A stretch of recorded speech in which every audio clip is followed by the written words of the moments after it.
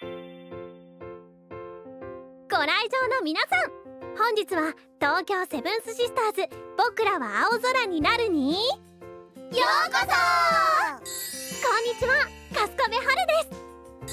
角森ロナです。野々原姫だ。芹沢桃香だけど。というわけで私たち4人揃って。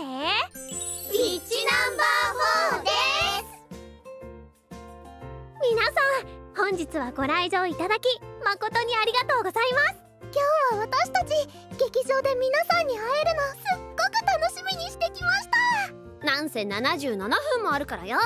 俺たちの活躍たっぷり楽しんでもらえると思ってさ。うんうん。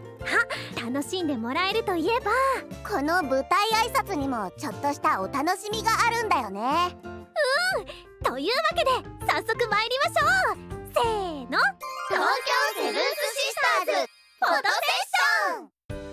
コーナーはこれからスタートと言ってからおしまいというまでの間スクリーンに映るスペシャルな画像を撮影できる撮影会です。携帯電話とかスマートフォンを持ってる人は今のうちに電源を入れてね。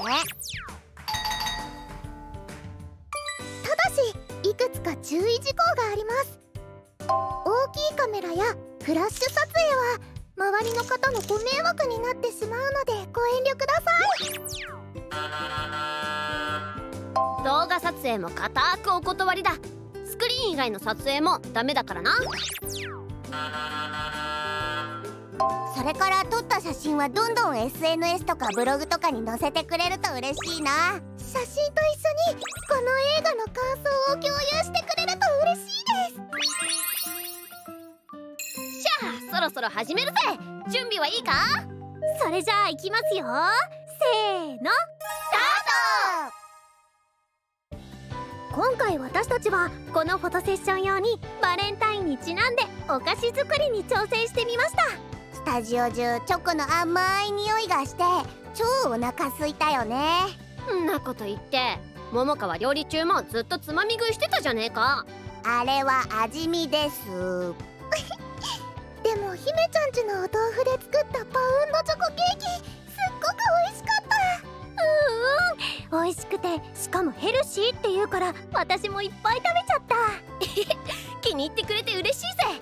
会場のみんなも今後とも野々原豆腐店をごひいきにってもうこんな時間じゃねえか。皆さんお写真は撮れましたか？そろそろフォトセッションタイムが終わりますそれじゃあ終わりの合図するからね。いくよ。